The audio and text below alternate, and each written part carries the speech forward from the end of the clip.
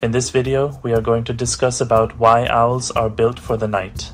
Now, I want you to picture this. Deep in the forest, the sun dips below the horizon and the world falls quiet. But for one creature, the night is just getting started. I'm talking about owls, the masters of the dark, the silent hunters of the night sky. Let's start by talking about what's probably the coolest thing about owls, their silent flight. If you ever get to see an owl swoop in slow motion, you'll notice something strange. There's almost no sound. That's because an owl's wings have special edges, think of them like tiny combs, that break up the airflow. This means they can sneak up on prey without even a whisper of wind.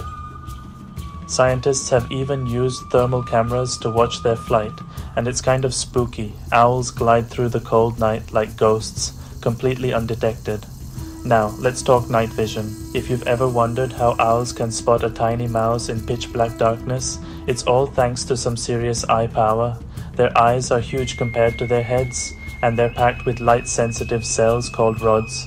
This lets them pick up even the faintest light.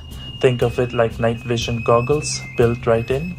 In fact, their eyes are so big they can't even move them. Instead, owls have to turn their whole head to look around. Which brings me to another wild adaptation, owl necks.